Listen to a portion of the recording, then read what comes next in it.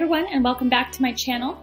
Today's tutorial is going to be a very fun, flirty, and wearable holiday look that can be punched up with a bright lip.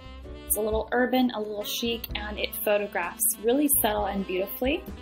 So we're going to get started on all the skincare, which I've already gotten a start on, and I filled in my brows. We're going to take the Kat Von D Monarch palette. We're going to start off with Killing Jar in the crease, which is a nice soft natural taupe color that will just create sort of a shadow, a nuance on the lid. We're just going to blend that out very softly using the Real Techniques blending base brush and then just blend it out in the corner.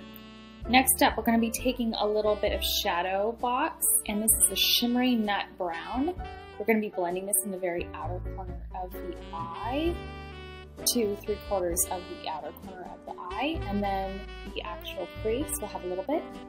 Next up, we're going to be taking a little bit of this nice sort of warm rose gold color. This rose gold color is one of my favorites in the palette, and it's called Vanish. We're going to take Obsessive Compulsive Cosmetics eyeliner in Feathered, and of course the Physicians Formula liquid eyeliner pen, which I don't care for. I, have honestly stopped using it. It's dried out and I really only used it five times, so I don't recommend it. But it's a great eyeliner for today's tutorial, which is urban and kind of chic and the eyeliner is not super strong. You could also do this look with a gel liner. That will probably come out really well as well since you have more control over gel liner brush. And just kind of blend it out with your finger a little bit. It doesn't have to be perfect. We're going to be taking the Too Faced Born This Way foundation in Vanilla. And vanilla is a nice soft, creamy, kind of a yellow-based color, and I use this to neutralize my pinkish skin tone. And in all honesty, I should have a pinker foundation at that, but this is what was available on Sephora.com. I'm going to be taking the Cover FX Cream Concealer Stick and blending this above my eyebrow just to clean up the brow.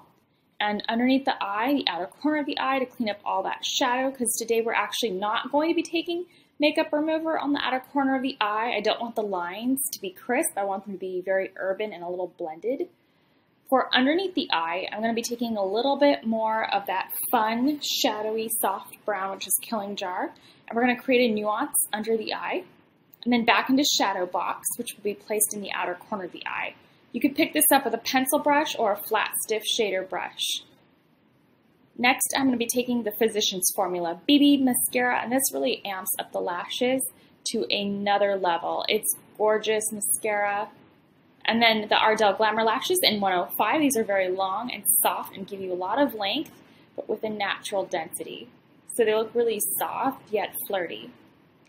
And then I'm going to clean up the lash line on the upper bed so that you don't see any glue.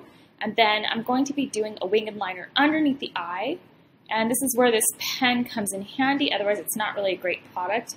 We're just going to be doing a very soft uh, double winged liner on the under corner of the eye. And it really makes the eyes look big and pop. You don't want this line to be harsh or too 70s. You want it to be really subtle and with a little flick on the outer corner. Next up, I'm going to be taking the Physicians Formula Nude Wear found, uh, not foundation. This is the Nude Wear Touch of Glow palette in light. And we're going to create a soft uh, little shadowing trick here. My new favorite trick. It almost makes the face look like a charcoal painting, and it brings it to life. We're going to be contouring and highlighting with this palette, and it creates a nice soft mineral look. We're going to be taking the Hourglass Nude Exposure blush from the Ambient Lighting collection and just fluff that on with an angled brush. This one happens to be from Sigma, and I want it to be very precise and yet the blush be very subdued. I do smile a bit when I'm applying it because, hey, when you smile, your insides feel a little bit happy and there's nothing wrong with that. Just don't over smile because when you do stop smiling, your face can drop. I'm taking the Wet n Wild Fair Trade Coffee bronzer and highlighter and finishing up. For hair, we flat ironed the hair because it's just kind of out of control.